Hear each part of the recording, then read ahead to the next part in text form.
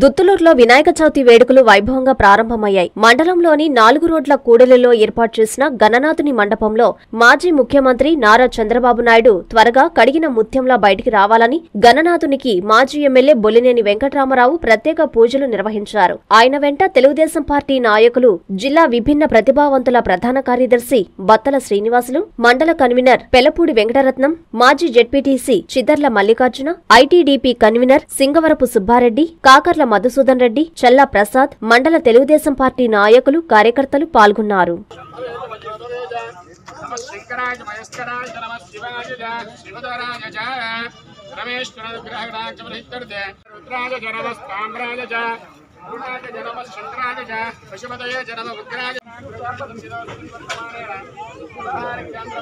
ప్రభవాది సస్య సంవత్సరాణామ